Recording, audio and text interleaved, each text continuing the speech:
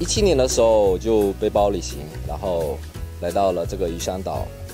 这个岛是很漂亮的，原生态，呃，很多草草甸。然后那时候背包每个村子露营，我发现当时海边是留了大量的那种塑料瓶子啊，一些渔具，还有木头，还有很多竹子。我又发现里面可以捡一些自己有需要的这这一部分的东西吧，加以改造吧，做成一些呃工艺品啊，一些成色的东西。这个是有一次台风了，就飘来大量的这种渔民用的这种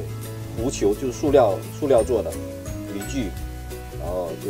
捡来的时候就大概这种切割了一下，底下打上土洞来种植物，然后这种